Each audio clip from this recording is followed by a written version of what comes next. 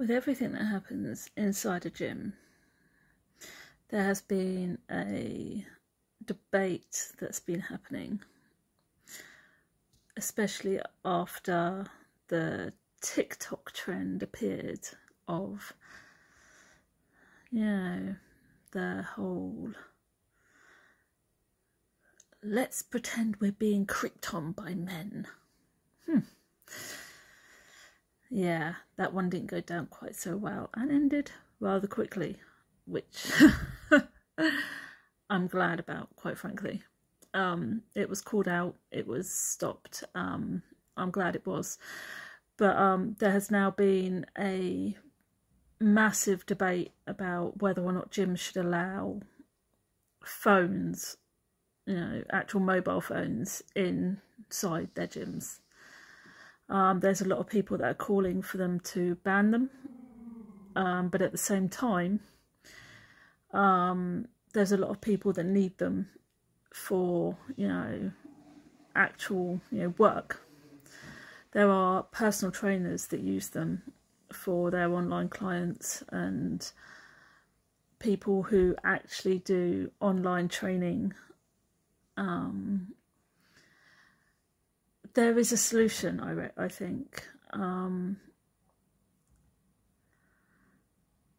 I do believe that gyms should do what you know most swimming pools do, most leisure centres do. You know, there's a schedule. You know, swimming pools and leisure centres they have schedules, don't they? You know, when they have aqua aerobics and aqua pool, aqua lessons and you know times when the school kids can go and make use of the facilities and times when the public can go you know.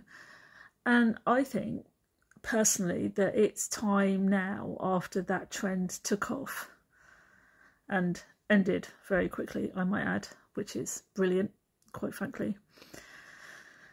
Um that what needs to happen to satisfy everybody, I think, is that there needs to be a scheduled time in gyms when people can go in with their phones to either film their TikToks or film their workouts or even do their online sessions.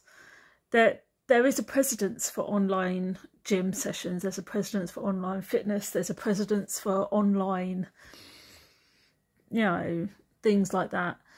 And the fact is, there's a lot of trainers that utilize that. And the fact is, if the public want to utilize a gym and use a phone and be able to film TikToks or film their sessions, then surely then it's time that the gyms utilize this concept of a timetable. I know it might interfere a little bit with, you know, fitness instructors, but it will stop anybody from being able to sit there and go, I'm going to film someone and pretend they're doing this to me. It will stop this ridiculous ideal that you can sexualize yourself for the use of, you know, attention at the gym. You know, and pretend you're what? not doing that. Yeah. The reality is, yes, there are now female only gyms, and there's a lot of women that you do utilize them. And if there's female only gyms, there should be male only gyms. That's the reality. There should be male only gyms. You know, actual gyms and not just bodybuilding gyms you know, there should be. It's a fact. But if people want to use, if members of the public want to use their mobile phones in a gym, there should be a timetable for it where public pe- where members of the public can use their phones to film whatever they want to film for whatever reason. They have a scheduled time and that's it. And it can be daily, it can be twice a day, it can be weekly, I don't care. And it means that that particular slot is a safe space for using phones. People know that if, when they go into the gym at that time, people will be on their phones. The phones will be there, the people will be on them, people will be recording themselves. There will be no surprises. You can't secretly film anybody.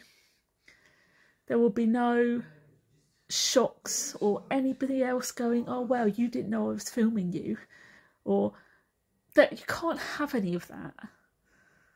You know, everybody knows what's going on because in that particular point in time, you've walked into a gym you know it's scheduled. There's a timetable that says at this point of time, you are allowed to film yourself in the gym for whatever reason.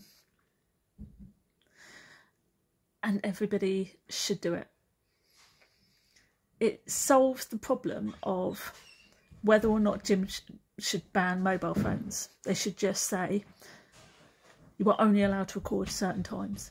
We all know harassment happens to men and women anyway.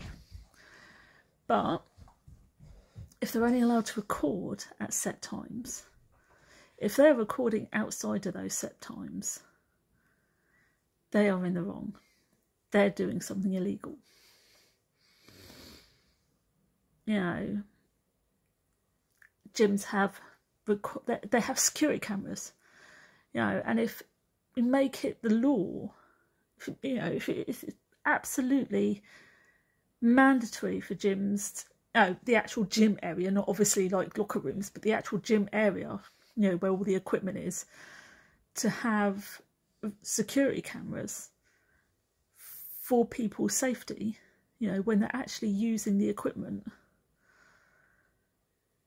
Nobody will get creeped on because there's cameras when they get creeped on, there's cameras. It can be proved. It's not in the locker rooms, it's in the public areas where people will use phones at set times. So there's nothing there that says, oh yeah, you're violating our rights. You know, so there is a solution, there is a way around it. And I don't know, maybe I should start a petition. What do you think? find a way. I don't know how to start a petition, but maybe it's time we figure out a way to solve this issue that both men and women are safe in the gyms.